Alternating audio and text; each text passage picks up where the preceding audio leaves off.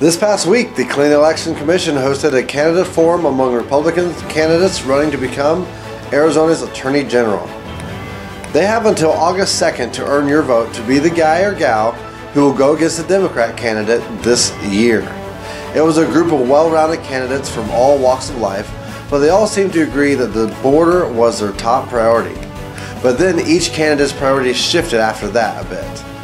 Now, the real distinct difference between each candidate was put out there during the debate when candidate Glassman insisted that the AG's office is a partisan office, office or at least it should be. He used many examples of Democrats using it as a partisan office to justify his position. However, he was alone on this position as the other candidates said it was not a partisan job and they did not intend to run it as such. Another big point that stood out in this forum was when Lacy Cooper stated that she was the only candidate who would have signed uh, or witnessed the 2020 election. As Abraham Hamadeh continued to quote the 20 or the 2000 Mules movie and explained his opposition to certifying the 2020 election. Now, Judge Andrew Gould really didn't give an answer too much. He just stated that he would only operate within the facts of what he knew at the time and not his feelings. Now, Tiffany Shedd, she added that at her reservation where her family visits, that she was there and she could attest that a poll worker was telling voters that they were not allowed to vote for a different party than what they were registered. Now, the moderator immediately asked if this was something that was being prosecuted. And to her answer, she said, not to her knowledge. So, Tiffany did stand out as on the border issue as a landowner, herself dealing with these issues firsthand. She even talked about some of the examples of how she has to deal with them to press charges.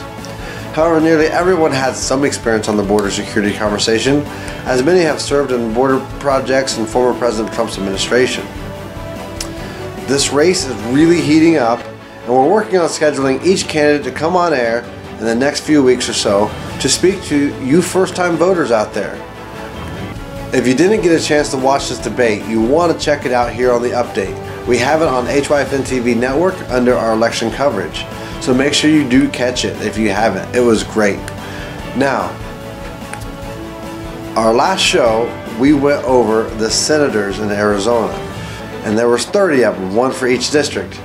Now here in Arizona in the House of Representatives, we have 60 representatives, two per district. And they are your voice at the Capitol.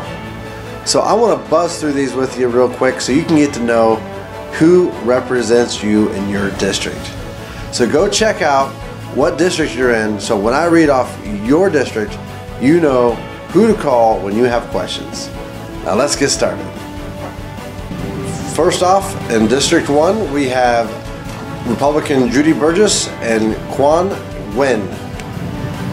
In District 2, we have Andrea Dalessandro and Daniel Hernandez, both Democrats.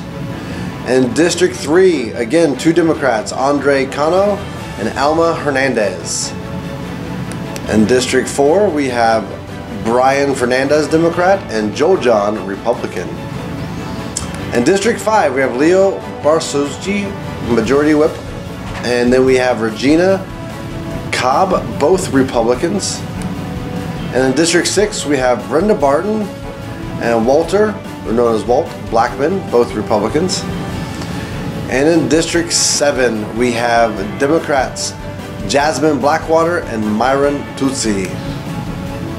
And in District 8, we have Neal Carter and David Cook, both Republicans. In District 9, we have Christopher Mathis and Pamela Powers Hannley, both Democrats. District 10, we have Morgan Abraham and Domingo DeGrazia, both Democrats. In District 11, we have Mark Finchem and Teresa Martinez, both Republicans. And in District 12, we have Speaker Pro Temp Travis Grantham and Jake Hoffman, both Republicans. District 13, we have Republicans Tim Dunn and Joanne Osborne. And in District 14, we have Lupe Diaz and Gail Griffin, both Republicans. District 15, we have Republicans Steve Kaiser and Justin Wilmeth. District 16, we have Republicans John Fillmore and Jacqueline Parker. District 17, we have Democrat Jennifer Pawlik and Republican Jeff Weninger. In District 18, we have Mitzi Epstein, Democrat, and Jennifer Jermaine, Democrat.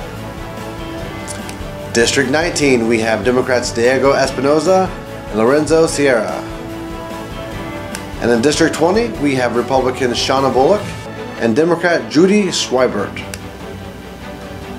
In District 21, we have Republicans Kevin Payne and Beverly Pingerelli. In District 22, we have Republicans Frank Carroll and Ben Toma, also the majority leader. District 23, we have Joseph Chaplik and John Kavanagh, both Republicans. District 24, we have Assistant Minority Leader Jennifer Longdon and Democrat Amish Shah. And in District 25, we have Rusty Bowers, Speaker of the House, and Michelle Udall, both Republicans. In District 26, we have Democrats Melody Hernandez and Athena Salman. District 27, we have Minority Leader Re Reginald Bolding Jr. and Marcelino Quiñonez. District 28, we have Kelli Butler and Sarah Liguori, both Democrats.